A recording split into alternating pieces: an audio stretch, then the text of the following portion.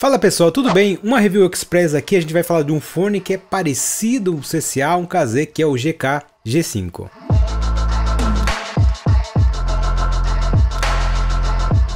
Seja bem-vindo a mais um vídeo aqui no canal, se você não é inscrito no canal, se inscreva que vai me ajudar demais a trazer fones como esse daqui, como outros fones, por exemplo, que eu tenho aqui, ó, WG-T2, que tem review aqui no canal.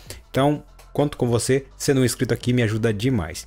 Falando sobre esse fone aqui, que eu também já estou deixando o link na descrição, a GK ela é uma marca, né, que ela faz parte desse grupo CCA, KZ, onde ela é desenvolvida, né, por uma empresa diferente, mas ela fabrica na mesmo, no mesmo lugar que a KZ.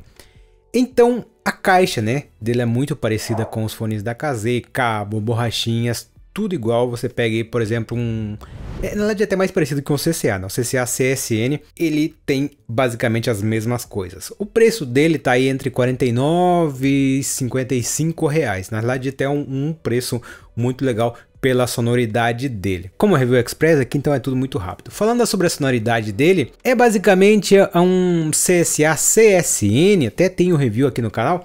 Se você não viu, dá uma olhada aqui. Também vai muito ali pelo lado do EDX Pro, porém um pouco melhor, ele tem uma resolução um pouco melhor, mas é aquele fone é, em V, né, onde ele tem um grave um pouco mais forte, os médios mais recuados e os agudos não tão fortes, ok? Não, a gente não pega aí muito pro lado da KZ, aí sim os agudos já é mais pro lado da do CCA. Então ele tem essa sonoridade que pelo preço dele entrega muito bem, né? Eu acho que é uma, uma opção muito legal aí que dá para também incluir.